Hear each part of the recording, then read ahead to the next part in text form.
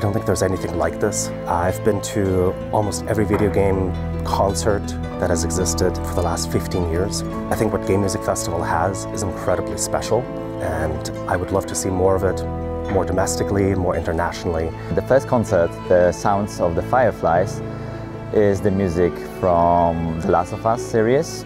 And we've been lucky to work together with Gustavo Santaolalla on that. For the second concert, for the Symphony of the Realms, we decided to bring wonderful music from Baldur's Gate 3 full symphony orchestra, the choir, and two soloists, original voices from the Baldur's Gate 3 soundtrack. The Game Music Festival is not just concerts, it's also educational activities. We had master classes with composers, we had BAFTA panels, there was a voice actors meeting. This is all about community.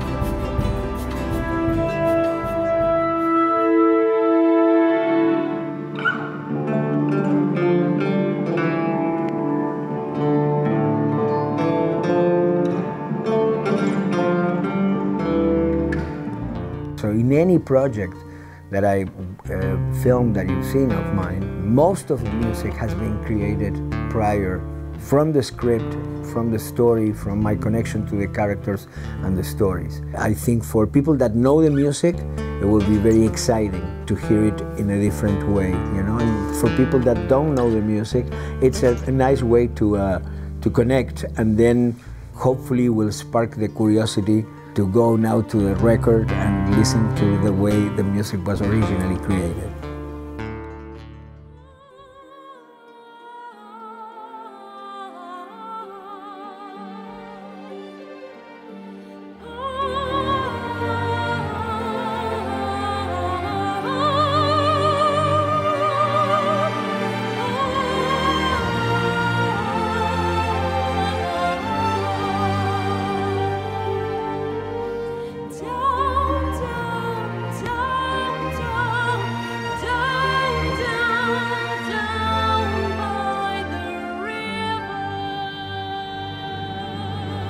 I think it's amazing to hear the music played live, so you hear all the colour of the orchestra. The rich symphonic sound is just um, a revelation. I think the two games that we see here today, The Last of Us by Gustavo Santaolalla, multiple BAFTA nominee, and then with Baldur's Gate 3, recent BAFTA winning Borislav Slavov, you know, they're both tremendous soundtracks that really speak to the very best of the craft of making games and the best music we've ever seen in game. It's another way to relive those beautiful moments uh, and experience we had in the game. It's the way the music crosses the boundaries between the game and real life, and that's why it's so special for me.